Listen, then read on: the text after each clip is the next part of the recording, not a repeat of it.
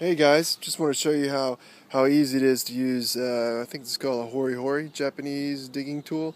Looks like a knife. Uh, it's kind of beveled on one side, look like a shovel, scoops, serrated. Uh, it's pretty pretty good in the hand. It's a little top heavy because the metal doesn't go all the way through the to the butt of the end of the handle. But I just want to show you right quick how convenient it is to plant because I like to get into the nooks, the nooks and crannies here. So here, so I'm planting some some beans.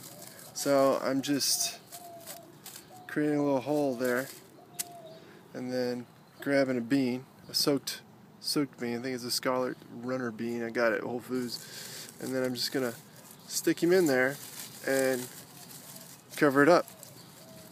And that's that's about as easy as it gets.